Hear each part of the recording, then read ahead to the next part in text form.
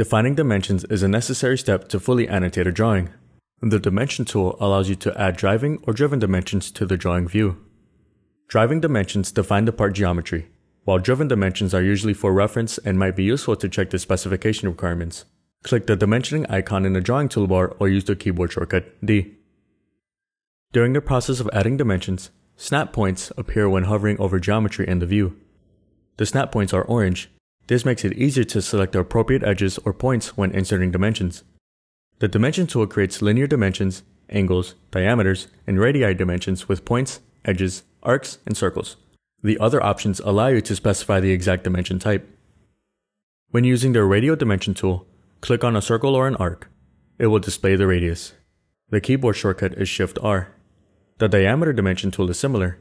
Click a circle or an arc to display the diameter. The keyboard shortcut is Shift D. There are several specific dimensioning tools, but the concept between them all is the same, defining a dimension between two entities such as points or edges. To adjust what a dimension is referring to, select it and drag the handles near the leaders. The blue highlight indicates what the leaders are attached to. Adjusting the dimension updates the value.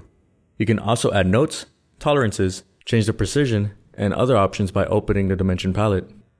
Select the dimensions and hover over the flyout icon to open the dimension palette. Input the needed notes, symbols, or tolerance information for the specific dimension. To create hole callouts, select the hole callout tool from the drawing toolbar.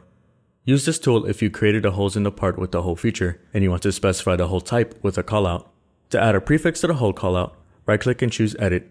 Then input the needed prefix and accept the edit. Dimensions are needed in a drawing to communicate the required size and tolerance of the part to the manufacturer.